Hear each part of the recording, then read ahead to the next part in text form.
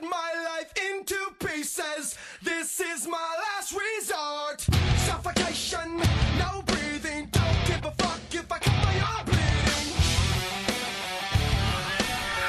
This is my last resort. Hotel. Yeah, hotel. Let's make a pickup here.